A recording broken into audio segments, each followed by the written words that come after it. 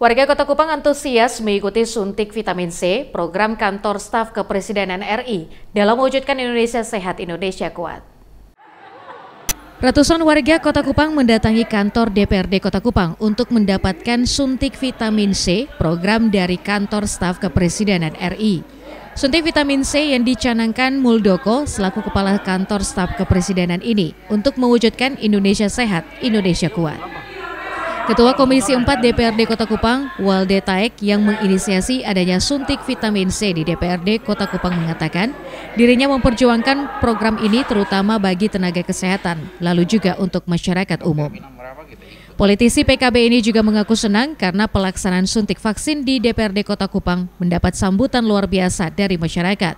Ada 130-an lebih peserta yang ikut, baik masyarakat umum, ASN lingkup DPRD Kota Kupang, anggota DPRD, dan awak media.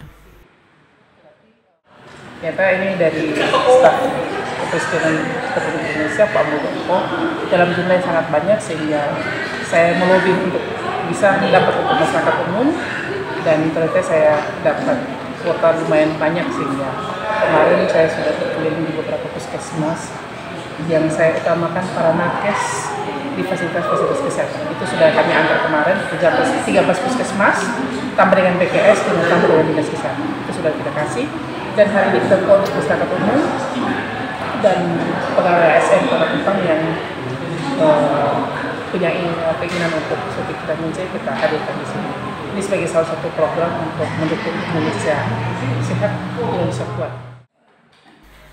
Adapun manfaat suntik vitamin C dalam mewujudkan Indonesia sehat, Indonesia kuat, yakni menangani defisiensi vitamin C, mencegah kerusakan sel, merangsang kolagen, meningkatkan daya tahan tubuh, memberikan efek cerah dan kenyal pada tubuh. Dari Kupang, Fabianus Bengetim iNews melaporkan.